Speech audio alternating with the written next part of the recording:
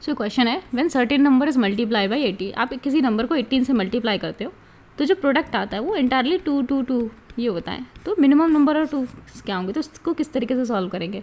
तो आप क्या करो एटीन को लो एंड इसको डिवाइड करते जाओ टू से जब तक जब तक रिमाइंडर ज़ीरो ना आ जाए। तो पहले सपोज़ आपने टू लिया तो डिवाइड नहीं होगा, फिर से टू लो तो वन तो आएगा फोर तो फिर आप फोर है, फिर से to low.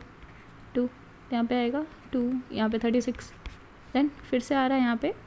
Forty two minus thirty six six six आया, फिर से डिवाइड नहीं फिर से टू लो।